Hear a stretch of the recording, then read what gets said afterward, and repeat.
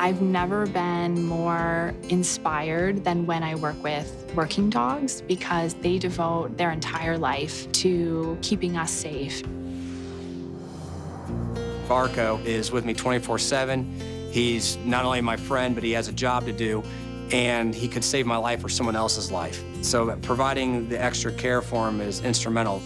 Starting in 2018, working dogs who are injured in the line of duty will be able to be transported in a human ambulance. We are partnering with the Carle Illinois College of Medicine and the Carle Hospital to create a transport protocol.